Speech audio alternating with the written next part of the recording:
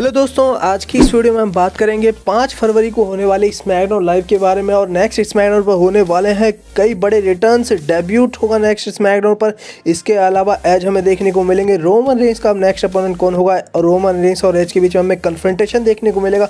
Guys road to WrestleMania के race start हो चुकी है तो नेक्स्ट स्मैकडाउन काफ़ी ज़बरदस्त होने वाली है। तो क्या कुछ दिखाने वाली है डब्ल्यू डब्ल्यू नेक्स्ट इस मैडम पे? ये इसी सब के बारे में डिस्कस करेंगे। तो गाइस बस वीडियो को बस एंड तक ज़रूर देखना सब जानने के लिए। बस वीडियो की शुरुआत करते हैं फिर आपके लाइक से। और यार, इस बार ऐसा नहीं चलेगा। बिना सब्सक्राइब किए मत जाना। बेल नोटिफिकेशन कॉल पे सेट कर लेना। और गाइस सबसे पहले बात करें बड़े रिटर्न के बारे में। तो गाइस यहाँ पर आने वाले हैं Seth Rollins Seth Rollins finally royal number में रिटर्न कर चुके हैं। और अब इस मैडम पर भी हमें देखने को मिलेंगे। और बड़ा सवाल ये उठता है कि भाई सेट रॉलिन्स किसके अगेंस्ट फ़ील्ड में जाएँगे? रूमर्स तो ये थे कि भाई हमें बिगी के अगेंस्ट देखने को मिलेंगे। पर अभी शायद बिगी की फ्यूड सैमीजेन और अपोलो क्रूज के साथ कंटिन्यू रहेगी और एक मैच हमें और देखने को मिलेगा बिगी सैमिजेन का। पर डब्ल्यू डब्ल्यू e अभी सेट होलिंस को किसी और के साथ फ्यूड में बुक कर सकती है, जिससे कि सेट होलिंस का मोमेंटम वापस आए। पर ये देखना इंटरेस्टिंग होगा सेट होलिंस फेस कैरेक्टर में रहेंगे या फिर हील कैरेक्टर में ही रहने वाले हैं। इसके बाद गाइज़ हमें देखने को मिलेगा फीमेल डिवीज़न से सेगमेंट और यहाँ पर होंगी bank Bianca Belair Bianca Belair celebrate करती हुई दिखाई देंगी अपनी रॉयल नंबर विन को। और ज़ाहिर सी बात है बैंका ब्लेयर चूज़ करेंगी सासा बैंक्स को तो हमें बैंका ब्लेयर और सासा बैंक्स के बीच में कन्फ्रेंटेशन देखने को मिलेगा।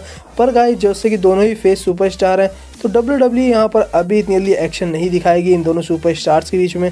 और अब ये दोनों सुपरस्टार हमें दोस्त जैसे ही दिखाई देंगे हो सकता है एक टैग टीम में मैच भी लड़े।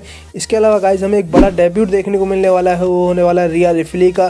गाइज़ रूमर्स ऐसे थे कि रॉ पर जाने वाली है रिया रिफली, पर रॉ पर नहीं दिखाई दी। हमें इस स्मैकडाउन पर डेब्यूट देखने को मिलेगा रिया रिफली का, जो कि एक बड़ा डेब्यूट होने वाला है। फीमेल डिवीज़न में और तबाही मचेगी, और मज़ा आने वाला है। और रिया रिफली का पॉसिबली हमें फेस कैरेक्टर में ही डेब्यूट देखने को मिलेगा। इसके बाद गाइज़ हमें देखने को मिलने वाला है एज का रिटर्न एज गाइज़ रॉ पर आए एनएक्सटी पर आए, पर फाइनली स्मैकडाउन के लिए भी कंफर्म हो चुके हैं. एज तो राजा बन चुके हैं, वो किसी भी ब्रांड पर जा सकते हैं और किसी को भी अपना अपोनेंट चूज़ कर सकते हैं, चाहे वो एन चैंपियन हो, चाहे यूनिवर्सल चैंपियन या फिर डब्ल्यू डब्ल्यू चैंपियन ड्रू टायर हो। तो भाई, अभी तक तो एज ने चूज़ नहीं किया कि वो रसल में थर्टी सेवन में किसे फेस करेंगे, पर नेक्स्ट इस स्मैडो पर काफ़ी कुछ हमें देखने को मिलेगा, क्योंकि अब एज आएँगे और रोमन एक सुपरस्टार हैं जो भाई किसी को अपने सामने बड़ा नहीं देख सकते, वो ज़रूर कन्फेंट्रेशन करेंगे एज के साथ। पर एज अभी भी चूज़ करने वाले नहीं है किसी सुपरस्टार को। हमें दोनों सुपरस्टार के बीच में कन्फ्रंटेशन देखने को मिलेगी। हो सकता है माइक पे बहस भी हो पोल हेमन होंगे। तो ये सेगमेंट तो काफ़ी ज़बरदस्त होने वाला है। इसके अलावा गाइस बात करें रोमन रेंज का नेक्स्ट अपोनेंट कौन होगा? क्योंकि सबसे बड़ा सवाल ये है, उठता है कि रसम लेने से पहले दो बड़े पेपर हुई हैं फास्ट लेन और एलिमिनेशन चैम्बर पेपर हुई। तो ऐसे में एलिमिनेशन चैम्बर पेपर में रोमन रेंज अपनी चैम्बर से किसके अगेंस्ट डिफेंड करेंगे? ज़्यादातर रूमर्स तो यहाँ है कि भाई सिंशुके नाकुमुरा अब हमें देखने को मिल सकते हैं। रोमन रेंज के अगेंस्ट क्योंकि रोमन नेक्स ने सिंशुको नाकामुरा पर अटैक किया था तो यहाँ सिंशुको नाकामुरा बदला लेना ज़रूर चाहेंगे। और वैसे भी guys Shinsuke Nakamura gauntlet match के विनर थे।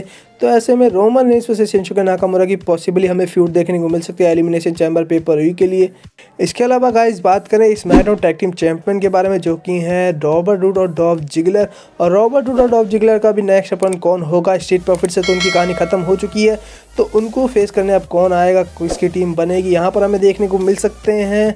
ओटिस एंड सॉर्टी जी या फिर सिजारो और डैनियल बैन की भी टीम फॉर्म हो सकती तो अब नेक्स्ट अपोनेंट कौन होगा इस मैग्नो टैकिंग चैंपियनशिप फ्यूड का? ये भी देखना काफ़ी इंटरेस्टिंग रहेगा। तो गाइज़ अब रॉ और एनएक्सटी के होने के बाद रॉयल नंबर के बाद का पहला स्मैकडाउन का एपिसोड कितनी धमाकेदार होता है, ये हमें जल्दी पता चलने वाला है। तो गाइज़ नेक्स्ट स्मैकडाउन बिल्कुल मिस मत करना। पर गाइज़ आज की वीडियो में बस इतना ही। आई होप की वीडियो आपको पसंद आएगी। यार पसंद आए तो लाइक ज़रूर मार देना।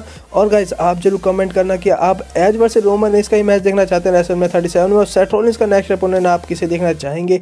और अगर आपने अब तक सब्सक्राइब नहीं किया सब्सक्राइब करने से बेलाइकन प्रेस कर लेना, जिससे कि हर वीडियो की नोटिफिकेशन आप तक जल्द से पहुँचे। Thanks watching guys keep support मिलते हैं नेक्स्ट वीडियो में ख्याल रखें अपना।